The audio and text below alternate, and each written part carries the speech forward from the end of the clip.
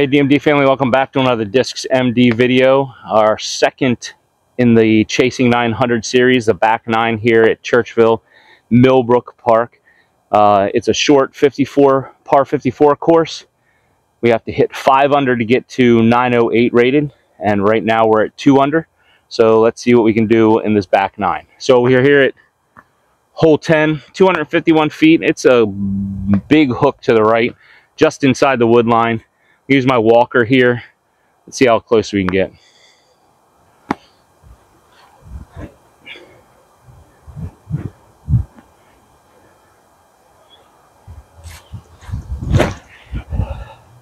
Sawed it off. Oh, that was ugly. All right. Long putt for Bird. Let's go see if we can get it. What is it about me leaving myself these long 60, 50, 60, 70 footers for birdie? I got to start getting closer to the basket. Oh, I, although I am getting good at them.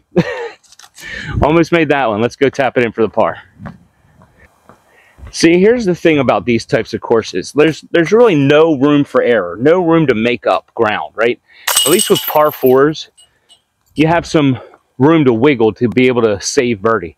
With these, your tee drive has to be precise or you're really not landing the birdie. So to if I want to challenge myself to get better, this is, is where I need to come to practice my 250 range into the pin. This is where I'm going to get better. So pushing myself like this, I, I, I'm, I'm liking this. I don't think I'm scoring as well as I should, but we always want to be better than we are, right? But uh, let's just keep driving on. On to hole 11. All right, hole number 11. Uh, 296 foot uh, up and to the left. Everything in me is screaming to forehand this. So I'm going to use my Mad Cat. There's a there's a small gap here to put something straight through and then have it hyzer at the end. So let's see if we can do it.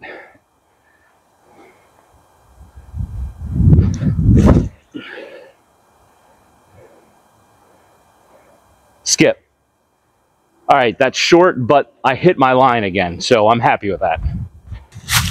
Another 50 footer here, but it's uphill, so I'm, I'm assuming this will putt more like 70. Just spin it and get it up there. Yeah, yeah, we'll take that. Tap this in for the par. Move on to hole 12, still two under. Let's go. All right, nice 170 footer straight ahead to the tee box, but we have so much stuff in our way. Uh, I need to get it to the right a little bit with a forehand and let it come back to the left. Nice little touch shot here. Just hit the gap.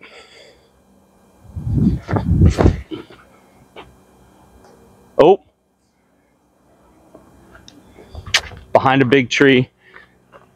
Turn that one over a little bit too much, but what are you gonna do? All right, we're gonna do this just so you can see the basket and my disc because if I put you straight behind me, you wouldn't be able to see the basket. So we're gonna do a high, really big hyzer.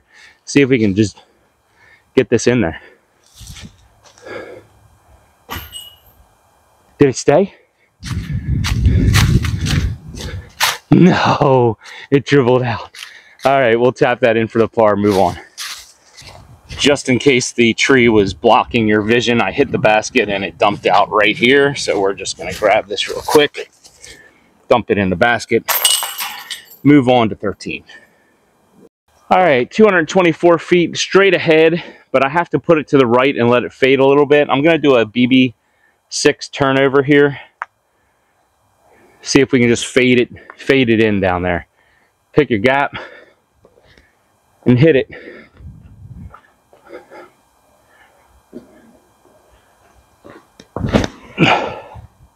Fade. Fade. It'll be a long putt. It's not turning over. I think I'm babying it too much. So there's a difference between not throwing hard and babying your shot, right? So I tell my softball players, throw it soft, but don't sacrifice your form. And I think that's what I'm doing when I'm trying to throw it soft. I'm sacrificing my form. So don't sacrifice your form, just slow up your arm speed. All right, so I want to show you. So there's my disc. There's the basket. So I have maybe a three, two and a half, two and a half foot gap to put it through. I'm going to put you over here just so you can see me putt and the basket at the same time. Sorry, I'm in the midst of adjusting so you don't feel too crooked. This should be interesting. So this is in my stance. So I learned last time, thank you Brandon, that even if it protrudes in front of your lie, if it's in back of your lie at all, you can move it.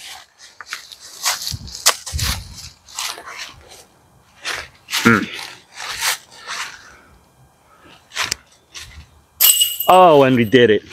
Yes. Rang that up for the bird. All right, let's move on to 14. Yeah, 14. All right, so it's a, what, 200, 206 foot uh, forehand hyzer shot. So again, the flag is just offset left of the tee box uh, to the left. Got to throw it right. Nice little hyzer gap. So I'm going to throw a forehand my midi here. Pick the line, get it there. Get around that. Eh, long putt. We should be able to make that. Wow, my forehand must be a lot weaker than I think. Also, feel something pulling in my calf right about now. Don't get old. It's terrible. I need to stretch more. All right, so we have a one, two, three, four, 25 footer here for the birdie. Take your time, make the putt.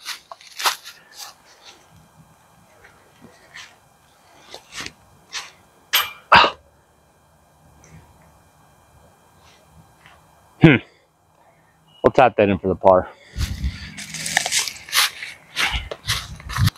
Yeah, those are the opportunities that you can't miss. 25 footers need to be put in. Sorry, my water bottle opened. 25 footers need to be put in. All right, on to hole 15. Got two strokes we need to make up. Let's do it. All right, hole 15 is a nice little chip shot up around the corner, forehand, really downhill, 222 feet if I haven't said that.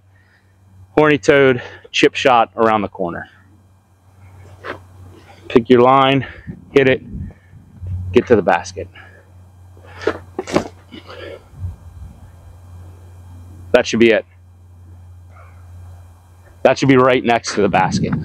Okay, let's go. All right, just long of the basket, not too bad. I like that. Gave it a shot to go in.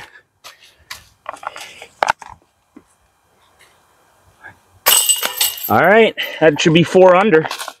Heading into what, 16? Let's get it.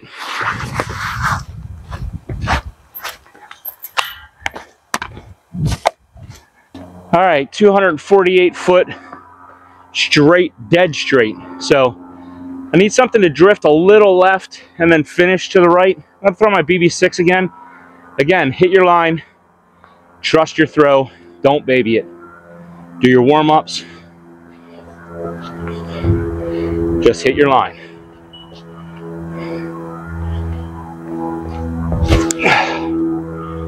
Get around. Now fade. All right, maybe a 35 footer for birdie. Gonna put you behind the basket because there's not a lot of room behind me. So one, two, three. oh, a little over 20 feet. So maybe like a 23 footer, 24 footer.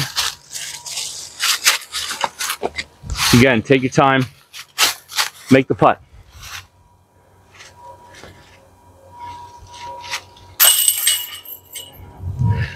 All right, let's push on. Come on. We're at five under right now. That's our goal, but man, I would like to do better than that. Let's do it. Two hundred and twenty-two footer uh, to the left here. You should be able to see it straight up through there. Uh, I'm again. I'm gonna forehand my midi. It, it's got to have a sharp. Oh, is there a backhand, left-handed route here? Ah, no, we're going forehand. Sorry if I'm out of frame. No, uh, there's a sneaky left-hander gap here, but it's really short. I mean, I guess if I run up off the tee. Oh, now, now we're going forehand route. Sorry. Okay, so forehand up through here with my midi. Want to aim for that big dark tree right in front of me. Oh no. Okay. Well, I aimed for it and I hit it. All right, let's go get it. All right, little bonus footage. I, I just want to see what this backhand left-hander line is, if I can hit it.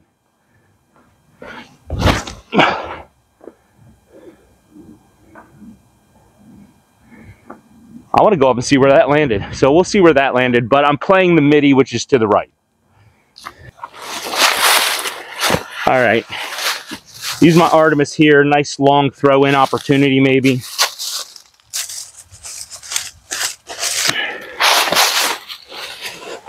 A lot of stuff in my way, though, so...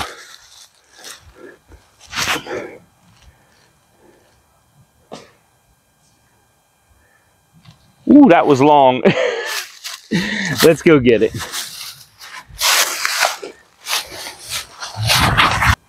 So I'm looking around for my horny horny toad. I don't see it. Well, we'll try to find it. Uh, I gave myself like a 15 footer here. It's the perils of trying to run something. You leave yourself a longer comebacker. I mean, this should be makeable, which is why we practice at home, right? So if we run them, we're comfortable in 18 foot, 20 foot ranges. Let me find my horny toad and then we'll uh, see how close I was with that backhand left hand line. Where did it go? Should have wrapped around right here. Should have wrapped around right here. Weird. Yeah, I'm still rolling. Still looking for it.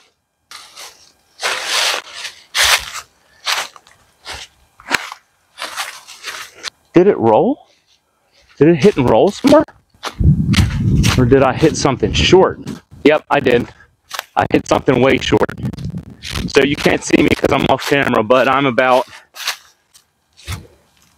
Here, let me show you. So there's the basket. We're behind it. I'll put an arrow over top of it, but it's right in front of that skinny tree right in front of you. So not the greatest lines. I think the forehand line there is the best. Let's move on to 18. In subsequent rounds, I found that that backhand line is actually far superior. Uh, I parked that hole multiple times after this using the backhand line. So that's the line I'm going to be using moving forward. All right, here we are. Last hole, hole 18. Sorry if I'm not in the frame again. I have it turned around. I don't know. Do you like this camera better? Maybe I'll turn it around for the next shot and see if the quality's better. Um, anyway, it's right out in the open. There's no excuse for me bogeying this hole. But you think 204 feet, wide out, right out in the open, this should be easy birdie, right? For some reason, the elevation here is extremely deceiving.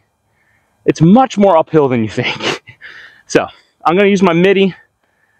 Try to hoist it up there. This should be a putter shot, right? But, uh, no, it's not. Just get my line take your warm-ups don't rush your shot right that's been working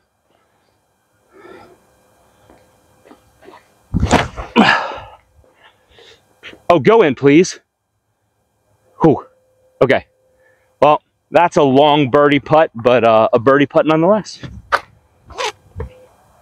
all right here we go 20 footer uh, again I've putt this whole round with the Artemis I don't typically putt with the Artemis but uh, Lone Star people, who does anybody putt with this? I've, I've kind of liked it. I'm not going to change, I don't think, from the Benny, but all right, there we have it. Uh, that should be six under here at Millbrook Shorts, red to red. Uh, and by my calculation, that should be a 922 rated round. So check our second one off the list of our Chasing 900, and I'm two for two now. which makes me feel good about myself. I mean, I definitely played this round better.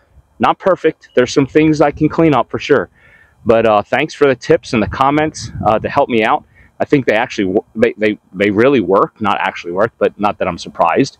I have some smart people watching me, but they really worked. Um, so thanks for those. Keep them coming. If you see something stupid that I'm doing that I need to be to to know about and to change, just let me know. I got I got thick skin, right? I, I want criticism. I want helpful helpful criticism to help me along this journey. So anyway, thanks for coming along. Thanks for watching. Hope you enjoyed it. Comment below uh, what else you want to see as far as content is concerned, and, and I'll try to bring the best that I can. Until next time, enjoy the journey. Here's your verse of the day.